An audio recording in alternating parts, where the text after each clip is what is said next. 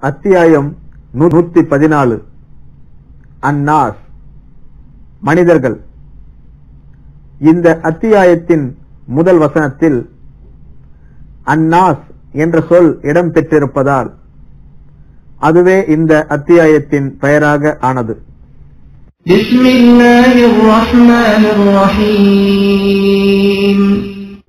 அளவற்ற அருளாளனும் நிகரற்ற அன்புடையவனுமாகிய அல்லாஹுவின் பெயரால் قل أعوذ برب الناس ملك الناس إله الناس من شر الوسواس الخناس மறைந்து கொண்டு தீய எண்ணங்களை போடுபவனின் தீங்கை விட்டும் மனிதர்களின் அரசனும் மனிதர்களின் கடவுளுமான மனிதர்களின் இறைவனிடம் பாதுகாப்பு தேடுகிறேன் என்று முகம்மதே கூறுவீராக